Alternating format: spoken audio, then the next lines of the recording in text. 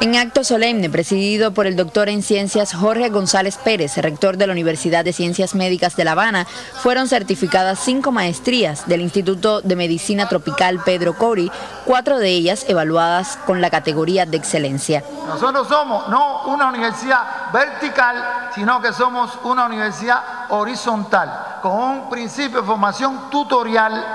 desde el escenario de trabajo y además con otro elemento que en muchos lugares no se practica todavía. Aquí, en nuestro sistema de evaluación, primero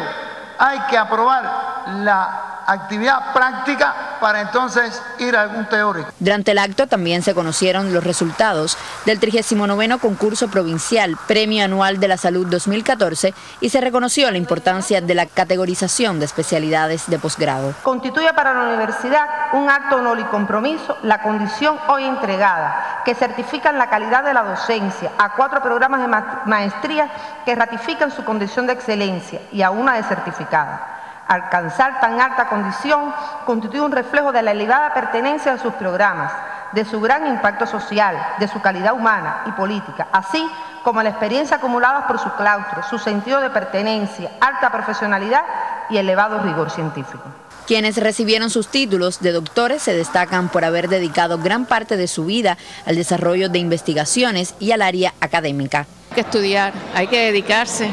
hay que eh, aprender nuevos métodos utilizar bien la informática, saber estadística, epidemiología para poder extrapolar los conocimientos y que todo sea en función de la atención de los problemas de la población cubana. Con una historia de más de 45 años, la formación posgraduada de la Universidad de Ciencias Médicas de La Habana ha egresado hasta la fecha más de 35 mil profesionales de unas 60 especialidades. Yaris Hernández y Ana Lauren López, Sistema Informativo de la Televisión Cubana.